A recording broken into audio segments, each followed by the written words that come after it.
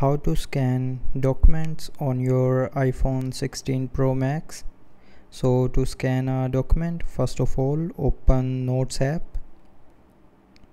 Now after opening a notes after opening the notes app tap on this compose icon. And then to scan a document tap on this camera icon. Now from this menu select scan document and then it will open the camera. Now point your camera toward the document and then it will capture the document automatically. You can tap on retake if the cap if it captures the wrong document. Then after taking the picture tap on done and then that that document will be saved to your notes. Now here tap on save.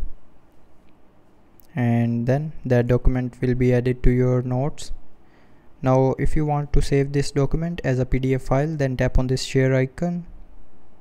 Then from here tap on save to files. And then select a folder where you want to save the file you can create a new folder by tapping on this three dot more option and from here tap on new folder. Now give a name to your folder.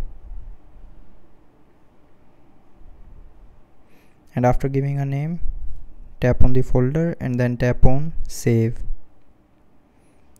Now you can check that document by opening your files app now open the folder that you have created and here you will find that document.